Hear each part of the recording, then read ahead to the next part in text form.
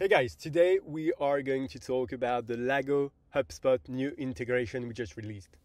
And this integration is very useful when you want to sync billing data to your uh, CRM HubSpot account, right?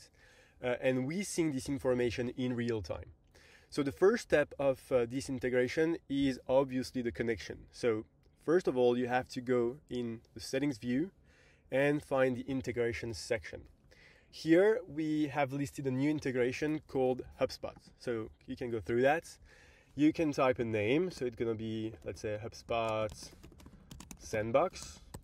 Here you have also to define a code. Uh, and then you have to define uh, fallback targeted objects for your Lago customers because we do sync in real time customers' information uh, and depending on the type of customer, we can sync that to your companies or your contacts.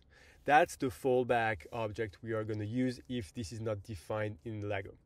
And then you can see that by connecting this integration, we sync in real time billing information to HubSpot companies, HubSpot contacts, and we create also two new custom objects in your HubSpot account. The first one is the Lago invoices, and the second one is the Lago subscriptions. So I'm gonna tick that on and I'm gonna connect my HubSpot integration.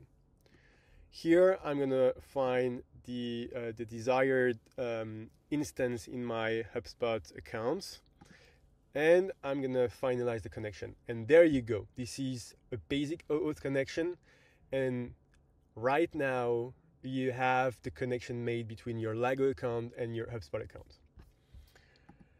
The second step is obviously to sync your Lago customers in your HubSpot instance. Uh, and we do that in real time, so let's do that.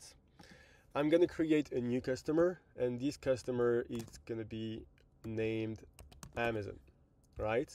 I'm gonna select that as a company, but uh, so just like you have to be aware that companies in Lago are going to be synced into your uh, HubSpot companies and individuals are going to be synced into your HubSpot contacts. So we can route the customer based on the customer type in Lago.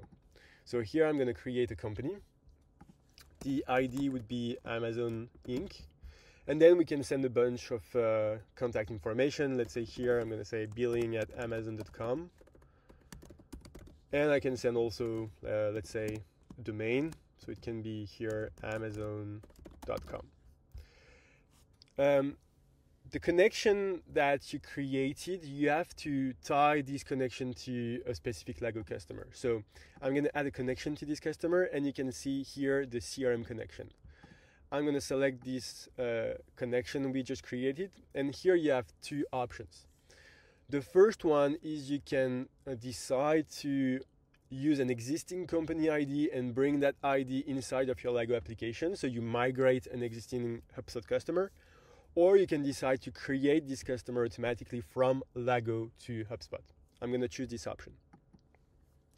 By doing that, we do sync in real time this new customer into your um, HubSpot application. So I'm going to click on that link and here, there you go. We've created this customer with a bunch of properties directly sent from Lago. And we also deployed two objects tied to this specific customer. We have the Lago invoices and we have the Lago subscriptions. So I'm going to show you how to create in real time a subscription in Lago and sync these data to your uh, HubSpot account. So I'm going to assign a new plan to this customer. I'm gonna I'm gonna select here uh, a subscription ID, uh, a subscription name,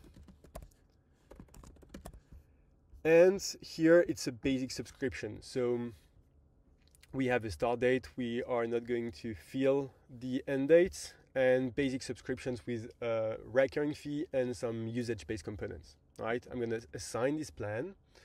And so whenever you assign a plan, in real time, that's going to sync the information to your HubSpot account. So if I'm going back to my uh, HubSpot company, here you can find a new Lago subscription. That's the subscription we just created, right?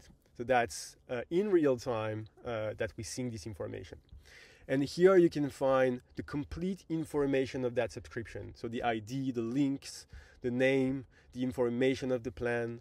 Um, and so to show you uh, the real-time integration, here um, I'm going to add uh, an ending which is the end date of the subscription. Right now it's empty, but I'm going to edit the subscription in my Lago subscription.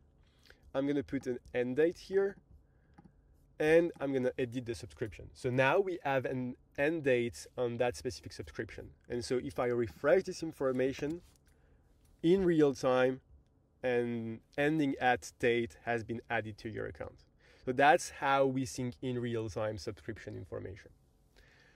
If I'm going back on the uh, on the uh, company record, so let's say here I'm going to go back to my companies. I'm going to select Amazon. Here you also have Lago invoices information. So let's create an invoice. By assigning the subscription, we have a draft invoice. We can finalize the, this invoice so we can properly generate the PDF documents and issue the invoice. I'm going to finalize that.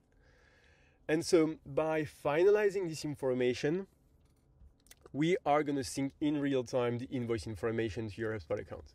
So here you can see that there is uh, a link of the invoice created in your HubSpot uh, connection. And if I refresh the page of that customer, we have a new record for Lago invoices. So I'm going to go here and that's the invoice we just created with basic information, the file, the, um, uh, the information about the amounts. And to show you again the real-time way of syncing invoices, here the payment status is still pending. I'm going to switch that to uh, succeeded in my Lago application. So that succeeded here. Now the payment status is uh, completely paid.